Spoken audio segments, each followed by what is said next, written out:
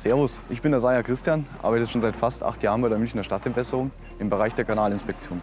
Unsere Aufgabe ist es, mit Hilfe von Kamerarobotern unser Kanalnetz immer und immer wieder videografisch festzuhalten, dass wir da immer einen aktuellen Stand haben.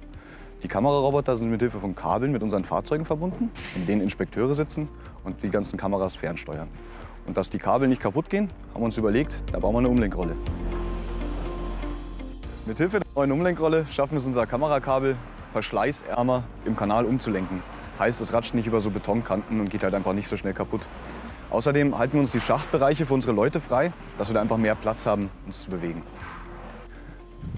Die von mir entwickelte Umlenkrolle ist jetzt schon seit längerer Zeit in all unseren Kamerafahrzeugen im Einsatz. Die Kollegen freuen sich, weil man sich beim Einsetzen unglaublich viel Zeit spart. Der Chef freut sich, weil die Kabel einfach viel seltener kaputt gehen und wir so viel geringere Ausfallzeiten haben. Kurz gesagt, alle sind happy.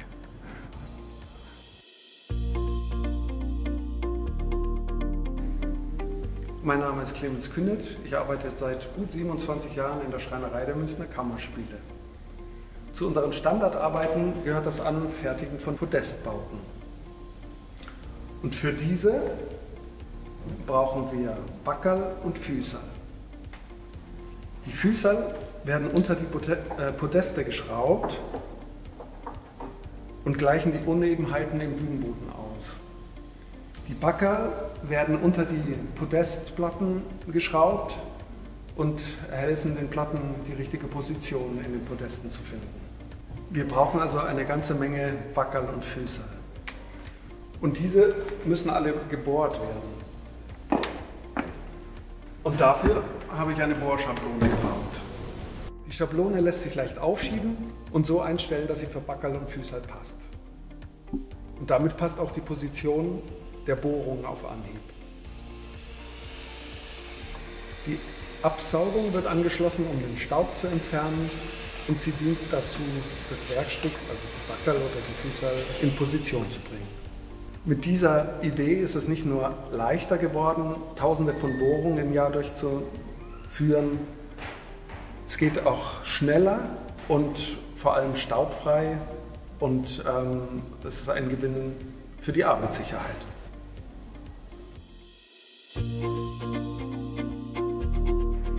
Mein Name ist Michael Gärtner, ich bin Ausbildungsleiter an der Feuerwehr- und Rettungsdienstschule München, hier von der Berufsfeuerwehr und zuständig für technische Hilfeleistung und damit auch für Hoch- und Tiefbauunfälle.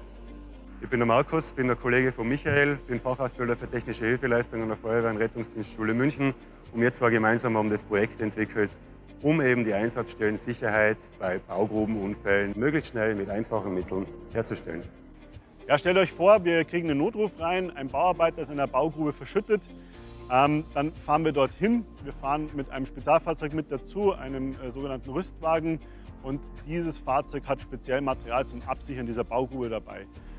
Das Problem bei einer Baugrube ist ja das nachrutschende Material. Und wenn schon jemand verschüttet ist, besteht natürlich die ganze Zeit über auch massive Lebensgefahr für uns als Einsatzkräfte. Hier kommen dann diese Platten zum Einsatz. Diese Platten ersetzen den Verbau, der normalerweise die Baugrube sichern würde. Das heißt, wir bringen unser eigenes Sicherungsmaterial dazu, damit das Material der Baugrube nicht weiter nachrutschen kann. Die Platten selber sind Holzplatten mit einer Holzbohle drauf, die quasi einen Flächendruck erzeugen, um das Material aus der Baugrube rauszuhalten.